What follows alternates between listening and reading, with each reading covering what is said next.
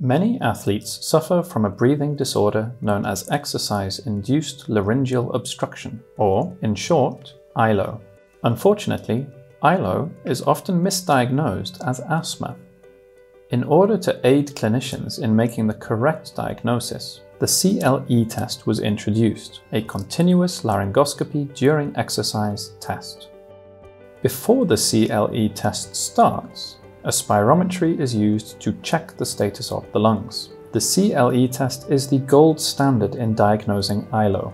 It provides a real-time evaluation of the larynx during exercise. The CLE test starts with a local anesthetic gel or spray that numbs the nasal cavity. Blood oxygen levels and heart rate with a full ECG echocardiography will be tracked during the test.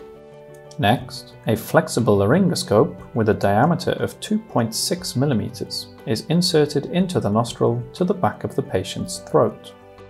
The laryngoscope is attached safely to the patient's headgear. This permits uninterrupted visualization of laryngeal movement during physical activity. Before the patient starts walking on the treadmill, the doctor explains what we're seeing on the monitor and how the larynx works. Then, the patient is asked to run on a treadmill or to ride on a bike.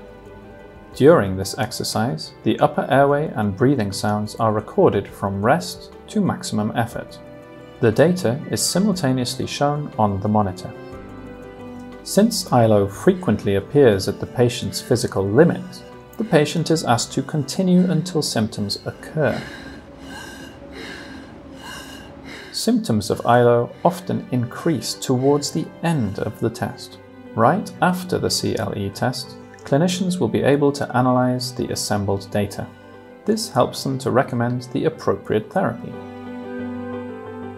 The CLE test will help in providing a safe and secure way to diagnose your patients.